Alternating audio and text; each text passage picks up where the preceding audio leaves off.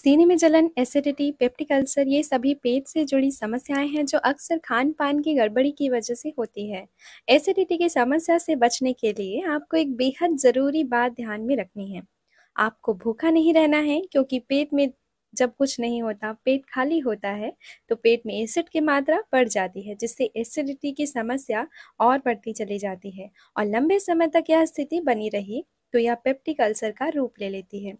इसलिए तीन घंटे के अंतराल में कुछ ना कुछ खाते रहिए।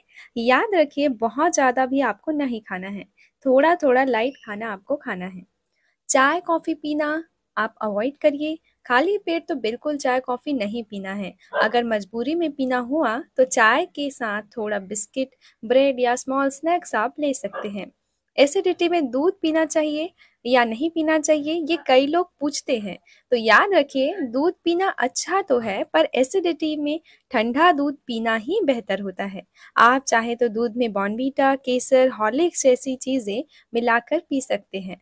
ब्रेकफास्ट और स्नैक्स में ब्रेड या टोस्ट में आप जैम या बटर लगाकर खा सकते हैं। इडली, कॉर्नफ्लेक्स जैसा हल्का नाश्ता आप कर सकते हैं।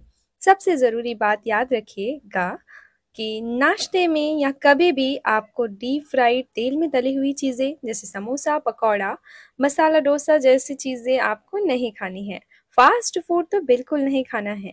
आप चाहे तो थोड़ा बहुत स्वीट्स खा सकते हैं। एसिडिटी होने पर मिर्ची आपको बिल्कुल नहीं खानी है, इसलिए तीखा खाना बिल्कुल भी नहीं खाना है। चाट नहीं खाना है, क्योंकि चाट में भी तीखा होता है। मतलब आपको मिर्च को अपने डाइट से बिल्कुल हटा देना है। भोजन में आपको उबली सब्ज़ियाँ खानी है। ध्यान रखिएगा, खाना बिल्कुल भी तीखा नहीं होना चाहिए। भोजन में चावल इंक्लूड कर सकते हैं। चावल को आप दाल या दूध या घी के साथ खा सकते हैं। खाने में आप गेहूँ की रोटी भी शामिल कर सकते हैं। खाने के बाद कुछ मीठा खा सकते हैं, जैसे पुडिंग, जेली या आइसक्रीम और भी बेहतर होगा। खट्टे फल आपको बिल्कुल नहीं खाने हैं। इमली, अंगूर जैसे खट्टे फल सिट्रस फ्रूट्स तो खाना आप बिल्कुल बंद कर दें। आप मीठे फल खा सकते हैं, जैसे तरबूज आदि। ड्राई फ्रूट्स आप खा सकते हैं। पेप्टिक अल्सर यानी पेट में छाले जब तेज़ी से बढ़ने लगे, उस स्थिति में आपको बिल्कुल ब्लैंड डाइट लेना है। आप ज़्यादा से ज़्यादा ठंडे दूध पीजिए, ठंडी चीज़ें खाइए, जैसे चॉकलेट मिल्क शेक आइसक्रीम आदि। खाना आपका बिल्कुल बिना मिर्च का होना चाहिए। खाने में आप ब्रेड बटर चावल सादी दाल के साथ उबली हुई सब्ज़ियाँ शामिल करिए। मीठे बिस्किट्स, मीठे फल, प्लेन इडली आदि आप खा सकते हैं।